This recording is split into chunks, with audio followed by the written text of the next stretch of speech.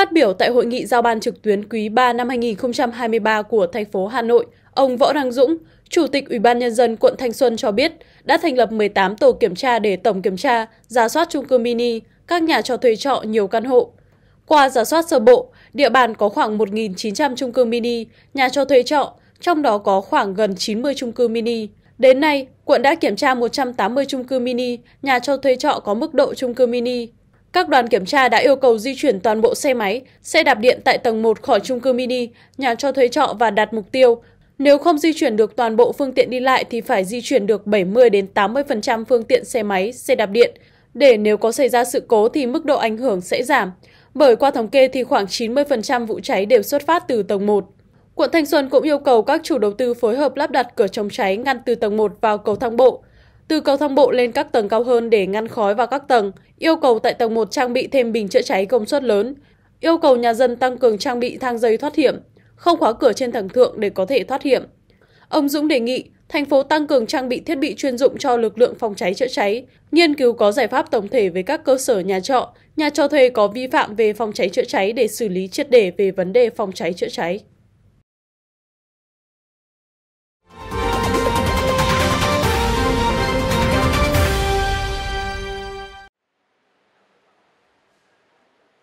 Ngày 21 tháng 9, phiên tòa xét xử sơ thẩm bị cáo Nguyễn Phương Hằng cùng 4 đồng phạm về tội lợi dụng các quyền tự do dân chủ xâm phạm lợi ích của nhà nước, quyền, lợi ích hợp pháp của tổ chức, cá nhân.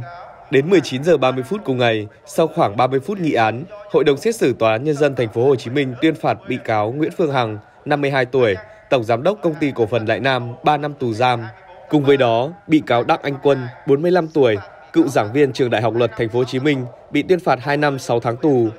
bị cáo Nguyễn Thị Mai Nhi, 40 tuổi, trợ lý của bà Hằng, Lê Thị Thu Hà, 31 tuổi, nhân viên công ty cổ phần Đại Nam và Huỳnh Công Tân, 29 tuổi, trưởng phòng truyền thông công ty cổ phần Đại Nam đều bị tuyên phạt mức án 1 năm 6 tháng tù về tội danh trên. Khi nói lời sau cùng, bị cáo Nguyễn Phương Hằng đã bật khóc bày tỏ sự ân hận cùng sự mong muốn có thể nhận được sự xem xét, khoan hồng của pháp luật để có thể sớm quay lại cuộc sống bình thường và tiếp tục việc từ thiện.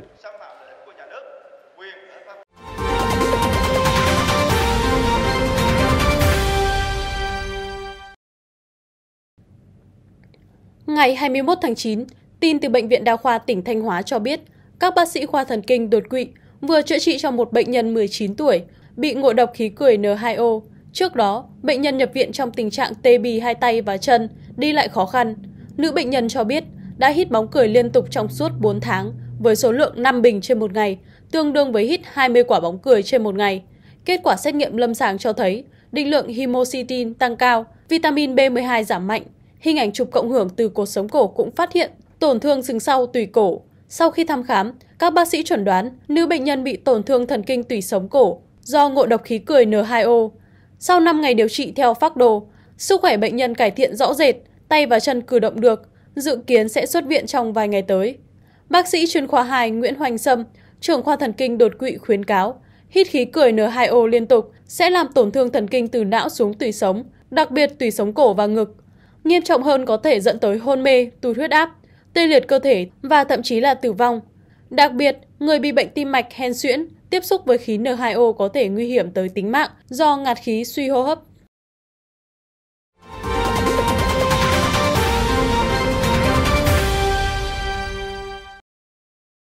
Chiều ngày 21 tháng 9 tại quảng trường Nguyễn Tất Thành, thành phố Tuyên Quang, khoảng 60 mô hình lồng đèn siêu khủng tham gia trình diễn trong chương trình Đêm Thành Tuyên đã sẵn sàng cho buổi tổng duyệt. Đây đều là những mô hình đèn độc đáo và lớn nhất Việt Nam. Theo ông Nguyễn Văn Hòa, Phó Giám đốc Sở Giáo dục Thể thao và Du lịch tỉnh Tuyên Quang cho biết,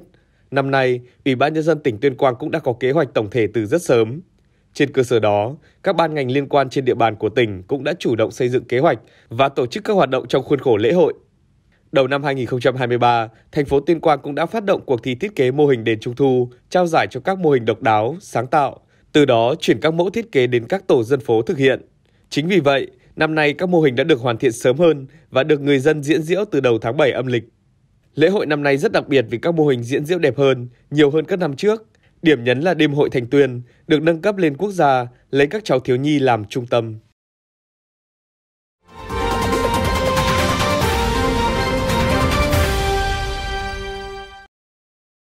Theo dữ liệu mới nhất từ nền tảng du lịch Agoda, Việt Nam tiếp tục là điểm đến ưa chuộng của khách du lịch quốc tế trong nửa đầu năm 2023. Đáng chú ý là thị trường Thái Lan với 3 điểm đến nước ngoài yêu thích nhất của người dùng tại Thái Lan đều nằm ở Việt Nam, bao gồm Đà Nẵng, Hà Nội và thành phố Hồ Chí Minh.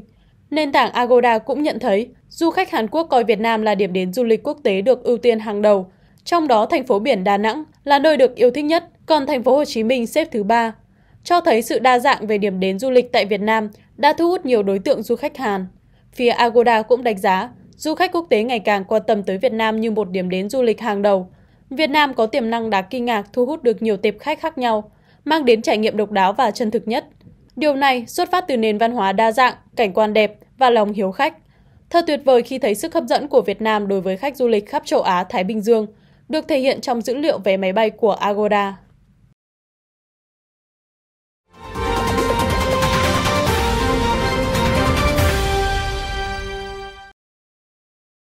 Ít nhất 4 người thiệt mạng và 5 người bị thương trong vụ nổ khí ga tại một công trường làm đường cao tốc ở miền đông Romalia vào ngày 21 tháng 9. Người phát ngôn văn phòng ứng phó tình huống khẩn cấp Florin Olaru cho biết, vụ nổ xảy ra vào khoảng 1 giờ sáng gần thị trấn Kalimanesti. Nguyên nhân là do đường ống chính vận chuyển khí ga bị nứt và xuất hiện các tia lửa điện trong quá trình thi công.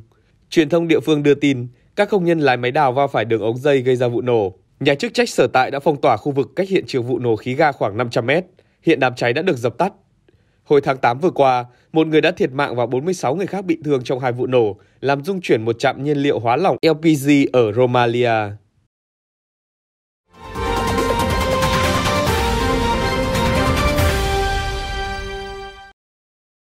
Cây đa bồ đề lịch sử ở thị trấn La Haila, bang Hawaii, Mỹ đã nảy những chiếc lá mới đầu tiên sau khi bị cháy rụi gần như hoàn toàn trong cơn bão lửa hồi tháng 8 vừa qua. Sở Tài nguyên Thiên nhiên và Đất đai Hawaii mới đây đăng tải một video cho thấy một vài chiếc lá xanh non đâm chồi từ những cành cây bị cháy đen, đồng thời gọi là tin vui cho những người tình nguyện đã ra sức cứu cây cổ thụ 150 tuổi này. Sự hồi sinh này cũng là tín hiệu đáng mừng cho cư dân nơi đây, bởi đối với họ, cổ thụ này chính là một biểu tượng lịch sử của thị trấn.